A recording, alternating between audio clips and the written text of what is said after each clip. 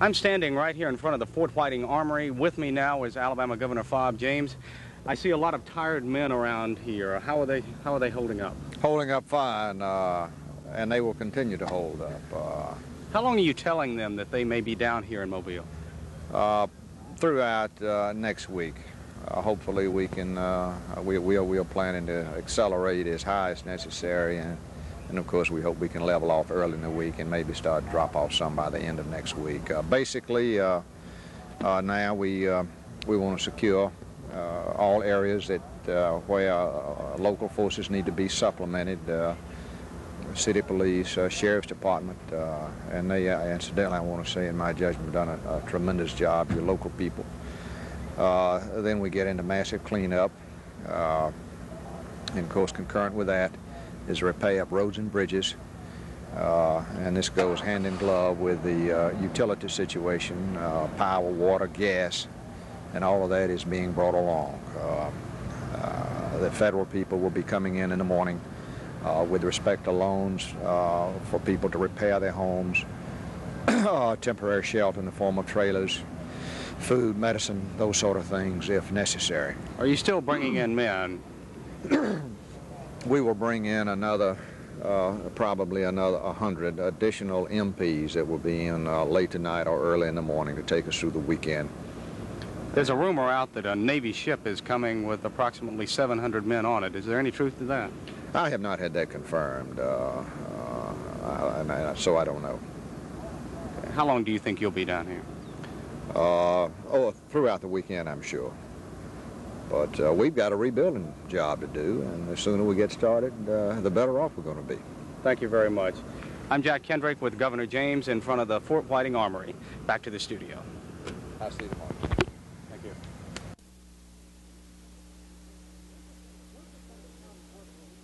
Workers from the County Work Release Center have spent all day passing out free water stored in these milk containers. The water has been available at at least two locations in Mobile, here at Spring Hill Shopping Center and the filter plant on Moffett Road. Close to 2,000 people showed up for water here today. All of them had different stories about what their own water was like. Right now we have water, but uh, from what I have heard on uh, radio and TV that the water might be contaminated. So I have a young child and everything, and I would like to have some good water for them to drink. Well, I live out in the Crichton area, and the water situation is clear, but I understand that it's contaminated. We don't have water. My parents don't either. None at all. No. Uh, I don't have much pressure. I have water though, but you're scared to drink it because you don't know what's you know in it. You don't know what problem. That's What does the water look like? It's a dark color. It's not. Uh, it's not as clear as it usually is. In my home, so far it's fine, but there are other areas that I've been through. It's a disaster. I saw people getting out ditches. Uh, we have no water in Forest Hill area whatsoever. There are indications, though, the stored water won't be needed much longer. John Van Sprecken is superintendent of the county water service system. He says a large pump was installed today in West Mobile, and water service should resume there sometime this evening. If you're still without water, though, and you can't get to where stored water is being passed out, there are two ways to purify water that's available to you. You can either boil it for 15 minutes or put two drops of Clorox bleach in it. Taylor Henry, News Center 5.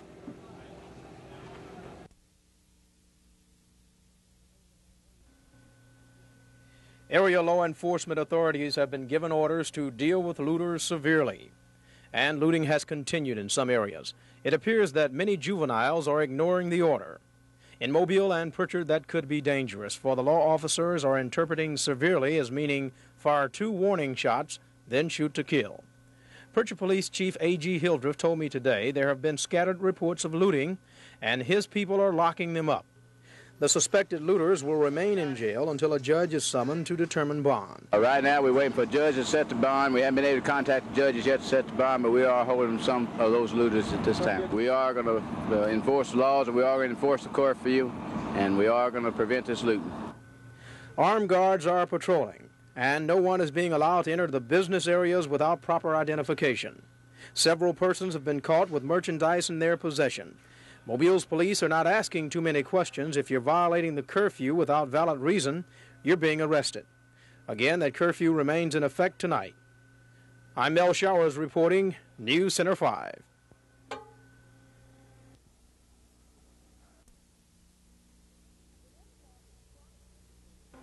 The Red Cross is trying to feed as many of you who need help. But there's a problem. People are walking into the Red Cross headquarters, walking out with food the Red Cross is trying to get to distribution centers. And that makes helping others a tough job. We're getting food out into the area from the chapter here in our mobile feeding units. And uh, contrary to what people believe, we don't have ice here. We don't have all the modern conveniences. We are without power. We're running on two emergency generators for uh, the supplies that we are getting out. And uh, what we don't need people to do is come down and hamper our efforts to get our mobile feeding vans out into the areas to feed people that need to be fed. Red Cross members ask you to please stay away from their office so as not to hamper efforts to help people who play by the rules, those who wait their turn for much needed food and water. Glenda Webb, News Center 5.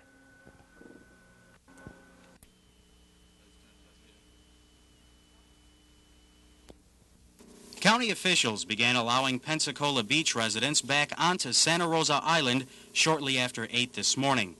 However, because work crews were trying to restore electricity to the island, they were held up at the commercial section of the beach. The shops there weathered the storm with little or no damage. Most of the pier, however, was gone. What is left may have to be torn down. Once residents on the Gulf side of the beach returned to their homes, they saw what little was left. This is just one of 27 homes in the state. Drive can't bring their cars back to what's left of their homes. There's up to about a foot of sand still on the street. But when they do finally trudge back on foot, they'll realize that they have been the worst hit on the beach. Len and Joy Bethany live one house away from the Gulf. Their large awning crashed down, destroying a good deal of the building. Joy Bethany says they consider themselves lucky. The worst damage is to the interior. The uh, rising water inside came up um, a foot and a half or two feet on our furniture.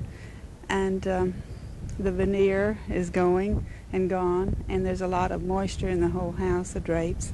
We're going to work all day and get as much done. We've called the insurance company and um, go back to town, spend the night, and come back and work again tomorrow and tomorrow and tomorrow. The Bethanys will have to stop their work by 8 o'clock tonight. That's when the beach curfew begins. Other areas in the southwestern part of the county will also be under an 8 p.m. curfew. They are Sea Glades, Grand Lagoon, Perdido Key, Innerarity Island, Queen of Vista, Treasure Hill, and Gulf Beach. City police arrested 28-year-old Randolph Williams for looting this shoe store early this morning. It was only the fifth looting arrest in the county, but police report a rapid rise in burglaries. When dawn broke this morning, 50,000 homes in the county were without power. Most of them should have electricity by later tonight. Dr. John Langley was pulled out of the intercoastal waterway near Perdido Key Wednesday night. He and 24-year-old Marianne Dickerson were trying to ride out of the hurricane when they were swept overboard. She is still missing. The city of Pensacola did announce one break for homeowners. They won't be charging any extra to pick up all the extra trash left behind by Frederic. Peter Casella, News Center 5, Pensacola.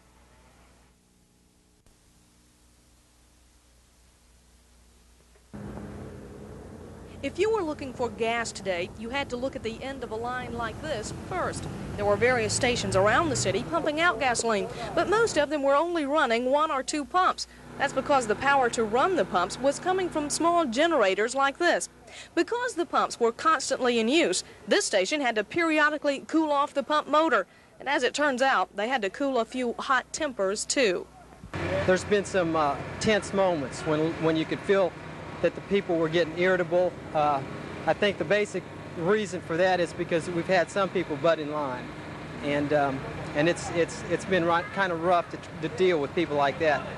But most customers were reasonable, and all of them were grateful once they got gasoline.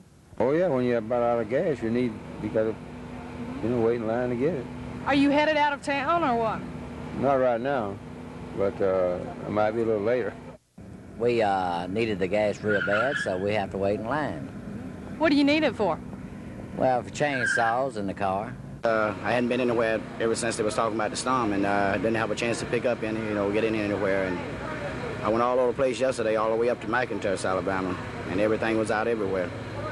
So this is kind of last resort to get gas? Right. But these aren't the only lines that people are sitting in today. They're out in front of banks, food stores, drugstores, and of course, in front of the ice houses. These people waited all day to buy ice at the Crystal Ice Company. Most of them were still waiting when the ice ran out.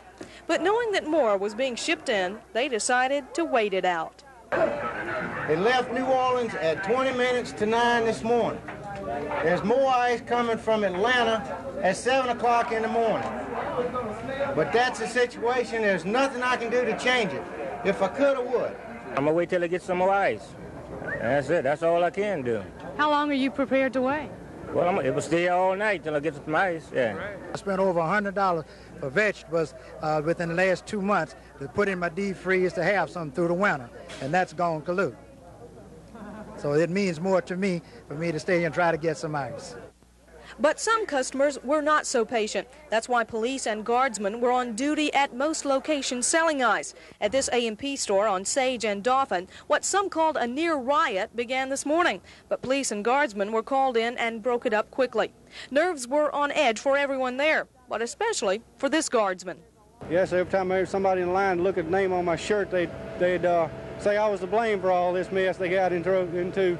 Needless to say, this is no time to be flaunting a name like Frederick. Janet Hall, News Center 5.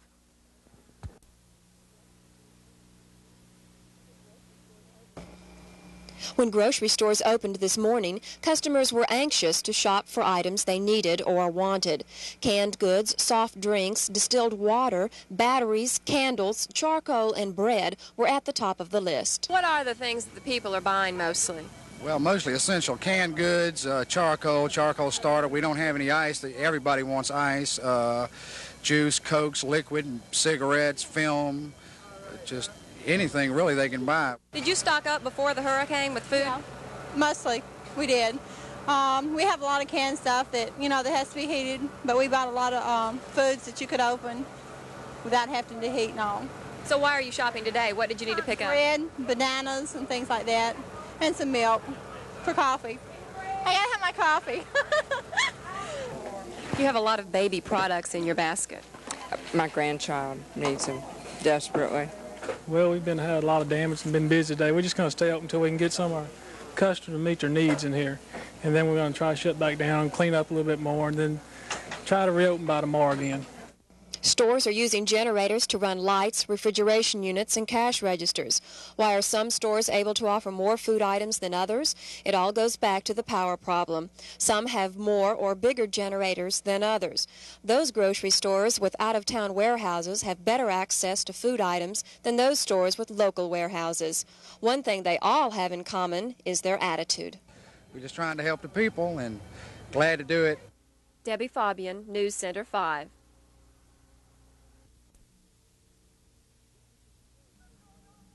If you're concerned your water is contaminated, two ways to make sure it's safe to drink have been suggested. Either boil the water for 15 minutes or put two drops of Clorox bleach in each quart you use. Preliminary testing shows there's no evidence the public water supply is contaminated. Tests are still being conducted and the results should be announced sometime this weekend. If you don't have a way to boil water and have no Clorox, County Commissioner Bay Hayes says it's okay to assume the water you have is safe to drink. He and Water Service Superintendent John Von Sprecken are working together on water problems in Mobile County. Mr. Von Sprecken and myself, and we've met with the Board of Health people. Uh, we have no, the, the, there may be some contamination in some of the water systems. Uh, the Mobile City water system, there's no evidence of contamination at all. But you know, if you if it's you could boil the water, you it would that would purify it. Or if you, you could put two drops of Clorox or household bleach per quart of water to to ensure yourself against any possible problem. Mr. Von Sprecken, would you? Uh, I think that uh, it's uh, there are places that we are having some difficulty with as far as the whole county. I don't believe that there's any problems in the city of Mobile. We're running chlorine tests and bacteriological tests. At the present time, we indicate that we have a sufficient amount of chlorine in the water, but uh, so that everybody in, in the community will not get the wrong idea or anything else. In other words, somebody may be getting water from someplace other than us and think that they are. So they, to assure themselves that they are getting good water, they should either boil it or put the two drops of Clorox in it. The people having the biggest problem with drinking water are those who've got private wells. Many of them have no water at all. For those who don't have water, Hayes says officials are in the process of getting large supplies of water into the Mobile area. That water will be distributed tomorrow at sites that will be announced then. Taylor Henry, News Center 5.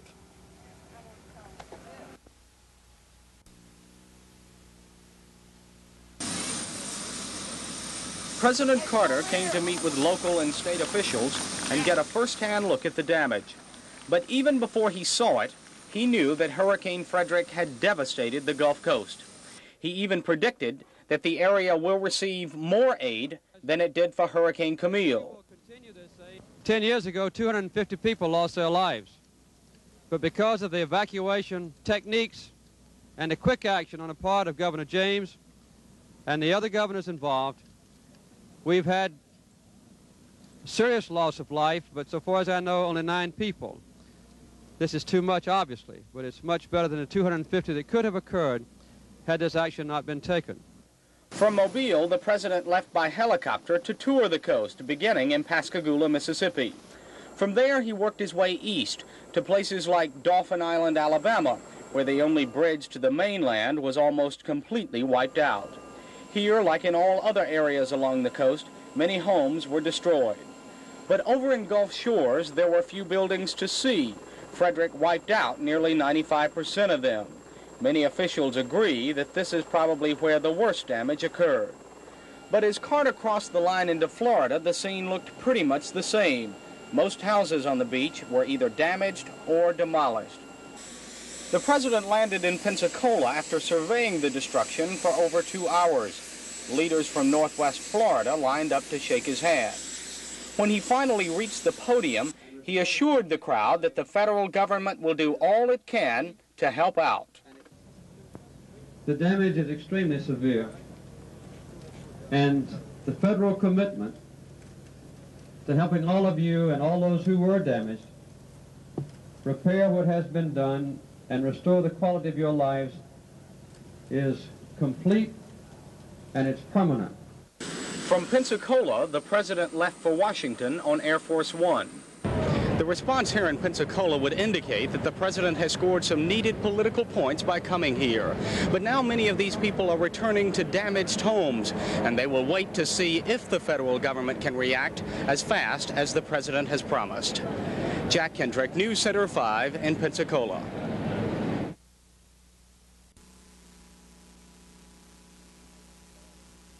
Spent the night in a vault in the office there. Uh, as soon, soon, soon as the roof started going in the back end, we figured that would be the safest place for us to get. How did you get the combination to the vault? Uh, boss called and gave it to us. I just told him I hope it floated. It was just 25 of us laying on the floor, held all of us on top of each other. In the living room, in the kitchen, window came out, and we had a chair chopped, you know, to the door. And that was it. We just prayed. I heard glass flying part of the roof. So I just prayed to the good Lord to take care of me and went back to sleep, and he did. I was afraid to look out the window, but the wind was terrifying. Uh, the roof, part of the roof came off, and several windows was broken. But you were under some mattresses. Right. The bedroom, uh, in the corner with a pillow, uh, with my sister as well as my brother. Where in the church did you spend the night? In the, uh, on the preacher's thing. Did you have mattresses covering you up? No, we had sheets when we went to sleep. Were you there with some other people? Uh-huh, my family. Were you frightened? No. Were the winds very bad? Yeah, you can hear Wilson blow the church window out. The Coca machine, uh, Coca-Cola machine. So you were behind the Coke machine? In my bedroom, ran across the bed. I left the bedroom, went into the kitchen, and then all of a sudden when I turned back around, everything was down for us, the bedroom, the living room. And then I went in the bathroom and I stayed in the bathroom. So after, afterward, the wind came and took half my bathroom door off. Then I was frightened, so I left. Jumped out the bathtub after the wall that came down. We didn't do anything, you know, sat around in candlelight after the power went out. Well, the roof came off around 10 o'clock, 9 or 10 o'clock, and I was in the back walk-in cooler. And uh, the cooler that I, we had two coolers, we had a large one and a small one, and I got in the large one, and it's the one that collapsed. The small one stayed, stayed up, but uh, it collapsed in such a way that it gave me room to crawl out from underneath it. Were you very frightened? Yes, but I was with my husband. I wasn't too frightened because he was with me. There's my husband. Talk to him. Okay, we were in the bedroom, and the, the, the bed kept sh- moving back and forth as the house was shaking d- right during the storm, back and forth. And we didn't know what we thought it was gonna. We thought the house was gonna fly away, but it didn't come close. But we scared to death. And you were in this bed that was shaking? Yes, we were. Uh-huh. Both of us, me and my wife. Not you and me.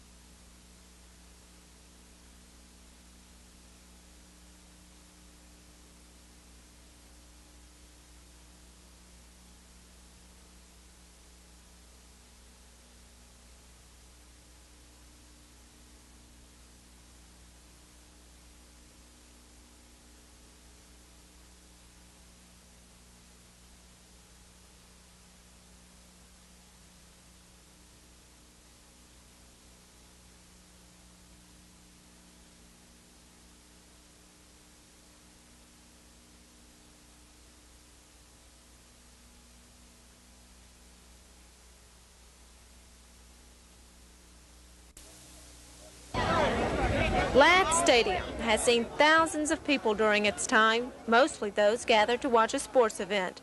But today, a crowd of hundreds were drawn for something we normally take for granted every day ice. No. Would you give it up? No. Well, get my ice up. Wait this long, I'm gonna keep my ice. How much is that ice worth to you now? Lots, I guess. Did you wait a long time to get that? Yes, ma'am. Would you give it up?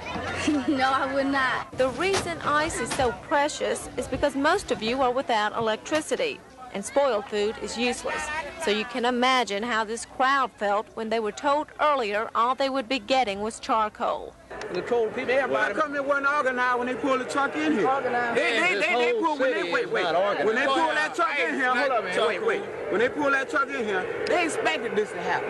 They pulled in here Ain't, ain't just no to saying pull you out got the same you know? problem over there, They man, wherever this. they going. Ain't number two, wait, wait, wait, wait a minute, wait. Y'all, y'all, y'all, y'all doing this. It ain't us. It ain't closed. It ain't us. We desperate. All the meat going back. You know. It ain't us. It's y'all. Y'all just haul a, a truck out here. Ain't no bags. Ain't nothing but a Sure truck ain't. Right. here. And then we go It's charge the not truck. to us. And they drive The gentleman with to the Army has back. the right under martial law to determine what has to be done. But after tempers cooled down a bit, both the ice and charcoal were given away. Jenna Neville, News Center 5.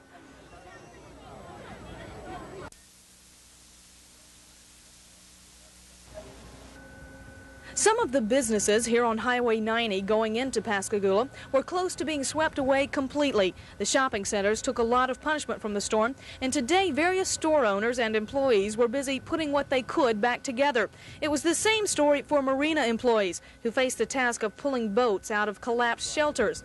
On Market Street, the main drag through downtown Pascagoula, one of the classrooms at Pascagoula High School is missing a roof, while most windows in the school have been blown out. Down the street, a church steeple is laying on the ground, and here a mass of power lines and poles are left dangling. And as expected, there are lines of people waiting for gas and ice here too. The residential areas in Pascagoula did suffer some damage, but were not hurt as badly as the business district. But the residential damage here in Moss Point seems to be more severe. Much of that is because of the large trees that Moss Point is known for. Some houses had as many as seven to eight trees on the house and countless more down in their yards. Moss Point was also hit by Hurricane Camille, but those who saw both say it was not as bad as Frederic. Camille was full of water, but Frederic was full of wind, and that is what turns trees over. Moss Point also experienced the calm during the eye of the storm. Charles Mitchell tells what that was like. Just like this, not as just perfect calm, just perfect calm. No wind at all. So that strange feeling? That's right. That's right. Just like a vacuum. Mississippians are facing much of the same battle we are facing here in Alabama, and it appears they are using the same tools to fight it patience and hard work. Reporting from Mississippi, Janet Hall, News Center 5.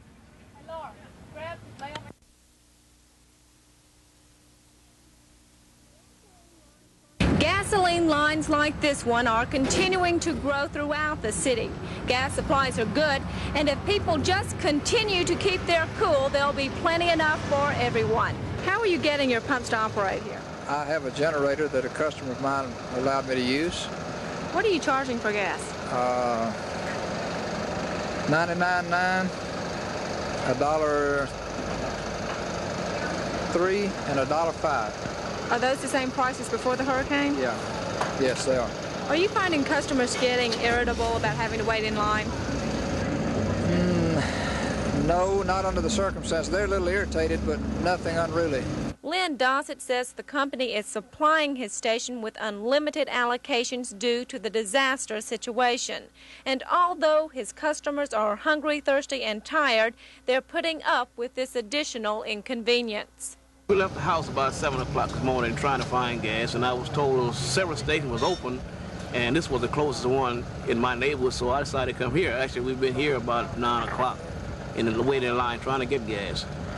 But only that I know of is, in the area, is only three, about three stations open. We stopped at uh, a 76 station, was say it was giving gas only to the Red Cross, and another Texaco station was open, but the line was so long, so I didn't, didn't even, you know, stop to go in everybody seemed to be taking it pretty cool and, you know, everything seemed to be, well, as usual, I guess. The only major problem, according to station owner Dossett, is that many of you people are buying gas and using it unwisely, like driving around to sightsee, which is one thing the police are urging you not to do. Jenna Neville, News Center 5.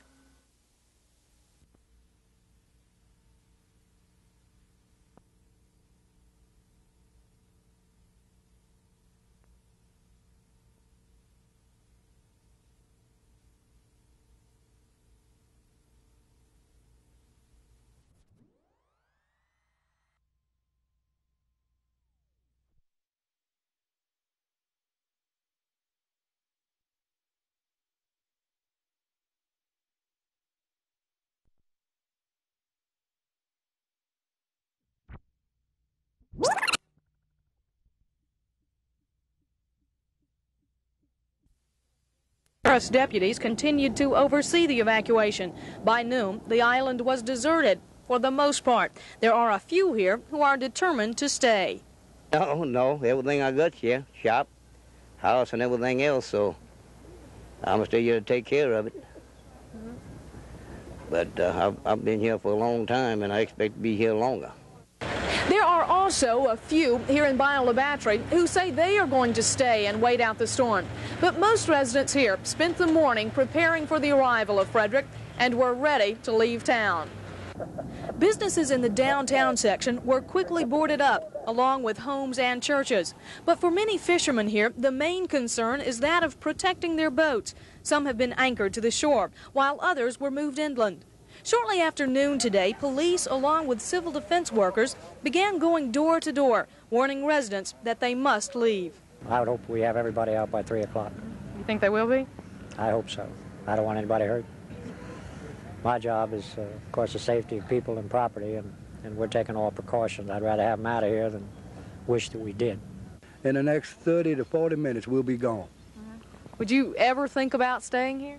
No, ma'am, by no means I wouldn't. How come? Because I seen enough Camille what it done. A 7 o'clock curfew has been placed on Bayou La Batre tonight. At that time, no one will be allowed to go back into the town.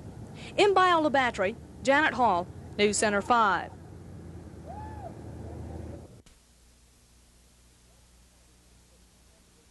In Jackson County, Mississippi, preparations have been taken for the hurricane by those who haven't forgotten Camille. Today, windows were covered with plywood or tape. These homes face Pascagoula Beach, the area that'll be hardest hit.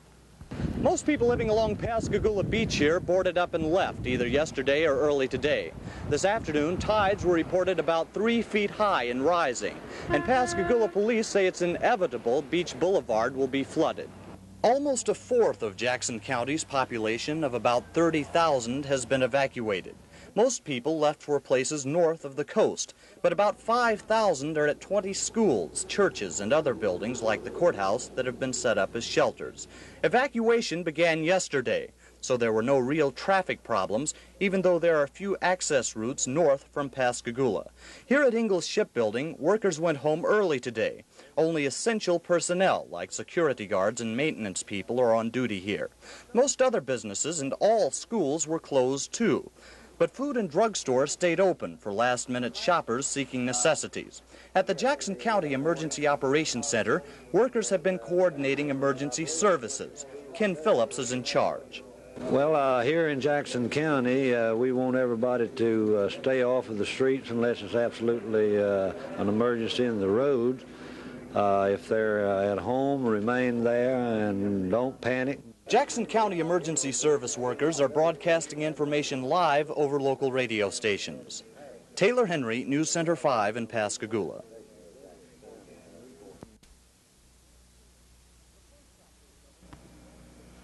The first stop for the governor was Gulf Shores. James owns a house here. But by the time he arrived late in the morning, the roads were already starting to flood. The governor was afraid many of the residents were not getting out fast enough, so he issued an executive order demanding that the shoreline areas be evacuated. And I'm most concerned that uh, some people are not concerned. And uh, it's very easy to stay where you are. Just 10 more minutes and then the roads are cut off and then we have no way to get to them. And then you've got a real problem. And that's when you take heavy casualty and that's what we're trying to prevent. Is the state going to be ready with any kind of aid if and when We're that going to be situation ready with everything, uh, everything we've got. Yes, sir. And that's what the governor told local leaders at the Mobile Civil Defense headquarters, his next stop on the tour. The big concern here is the evacuation of people in low-lying areas. But most of the leaders say they've already done almost all that they can. I think the statements have been, have been good. They've been coordinated, and very clear. And I think everybody who's, uh, who has heard it in the public media is responding properly. Uh, I hope that uh, people are taking it seriously, but there are those who just are not even going to know about it.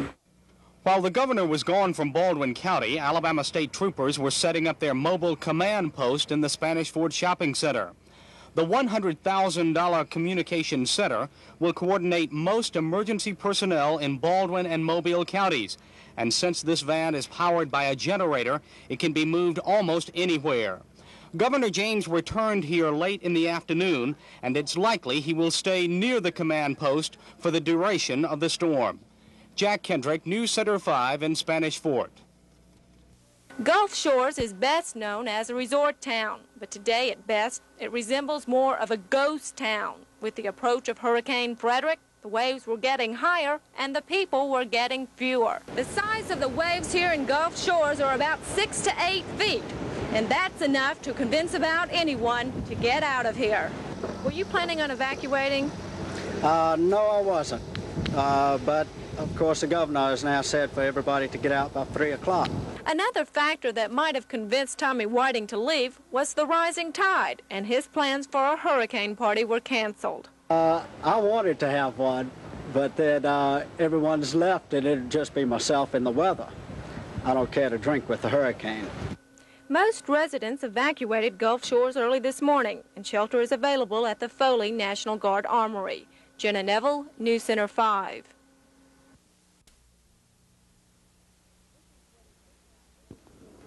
This is what it looked like just an hour ago outside our studios as gale force winds wound through downtown Mobile. Hurricane Frederic began pushing its winds into the Mobile area earlier this evening, and because of Frederic, a 36 year old truck driver nearly plunged to his death when his tractor trailer ran off of Interstate 10 and dropped into Mobile Bay. Tommy Lee Rogers was standing on top of his truck cab as it bobbed in the bay. Rescuers lowered a rope to him and pulled him to safety. Meanwhile, city and state officials gathered earlier today to prepare for Frederic. Governor Fob James was here and said he'll stay in Spanish Fort to wait out the storm and tomorrow assess the damage. Uh, we have moved uh, uh, National Guardsmen, troopers, equipment uh, uh, north of here and uh, we start assessing what happens, and then I think we'll be able to re react to it uh, very rapidly. Mobile Mayor Gary Greenough said Mobile is as prepared as it can be. I think uh, I, my feeling is that our uh, our plan is is good. Uh, the, we're well organized. We're assessing the information. Uh, we're making the decisions that need to be made as we move along, as we face them and uh, everything, in my judgment, is in good order. And uh, this is a natural disaster. No one has real control over it, and you can never really be totally prepared. But uh, to the extent that we can, uh, I think we are, and I think our, our uh, program here is moving as well as could be reasonably expected. Prichard Mayor A.J. Cooper called for Prichard to be evacuated earlier today, and most people heeded his warning. In Mobile, Toulminville, and Trinity Gardens were some of the later areas ordered to evacuate. For all of us, it's going to be a long night. Beverly Counts, News Center 5.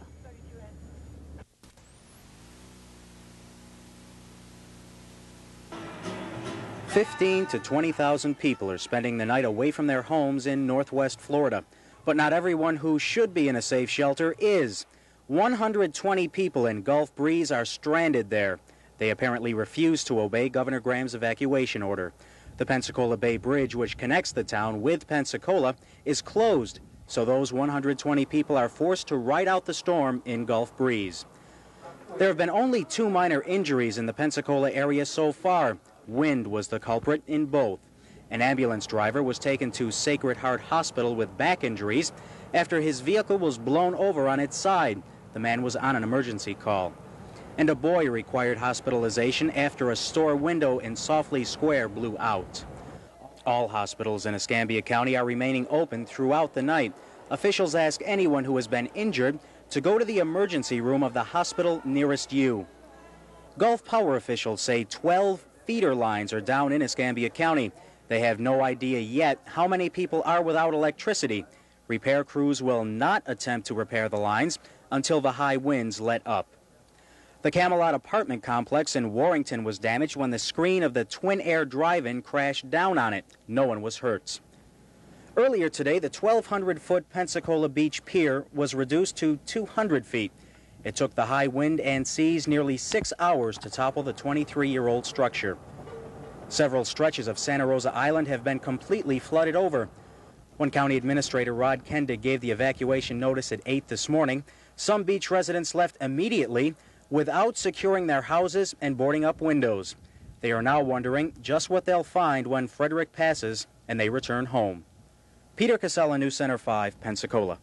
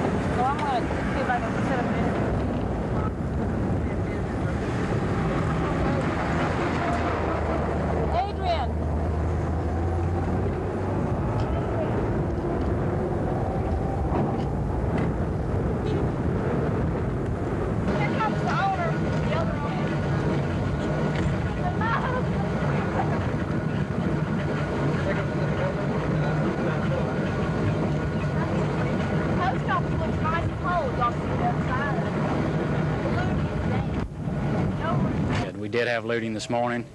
I caught a ride back to Irvington to check. I don't know. I really don't know. We're probably.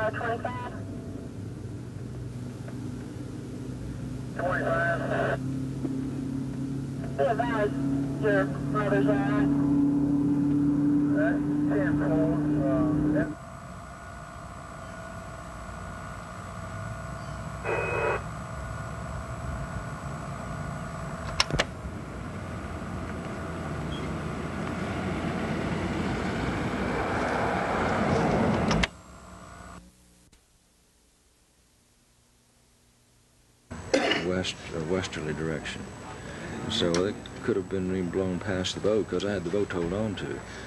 But uh, it was just a matter of holding on, and the boat ended up um, with, a, with a bow toward the shore and the bottom up. And Did you make any attempts to try to rescue him? uh, well, I knocked.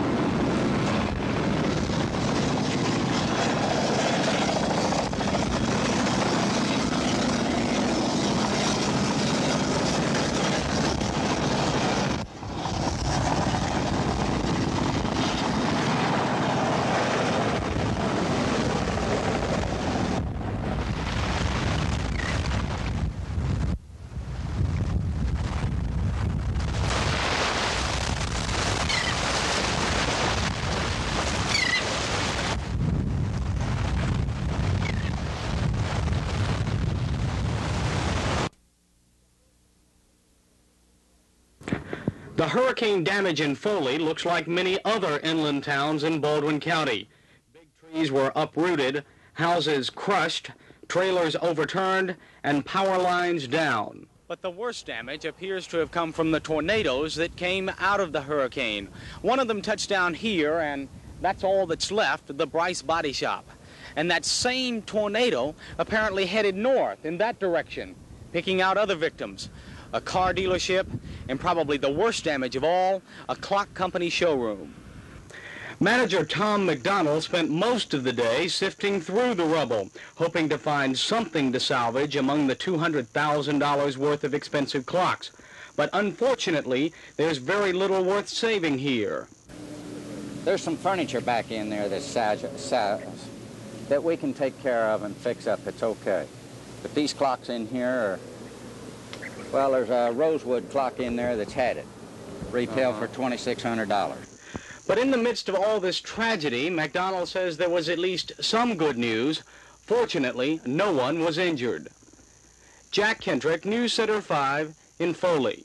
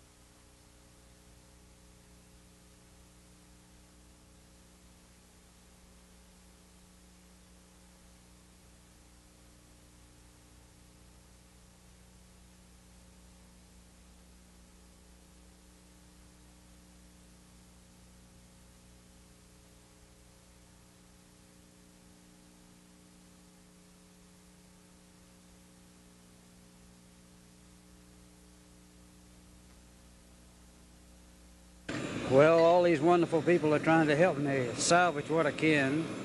Uh, I got a whole livelihood invested here. Looks like it's all going to go down the drain, but we're going to try. We're going to try to come back. You have no no intentions of giving up on it. No, don't have any intentions of giving up.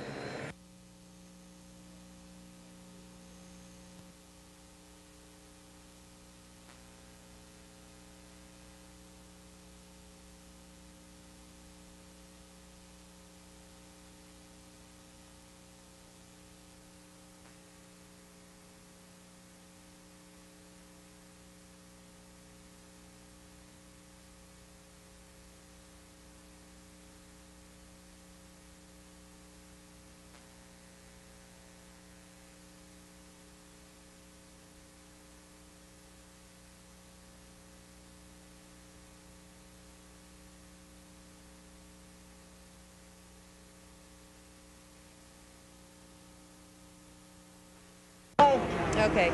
I know you were flying around the areas. What were your impressions of the worst areas along the coast? Well, the uh, the coastal areas, uh, the Gulf Shores area was awfully hard hit, as was Norfolk Isle. I mean, the lower the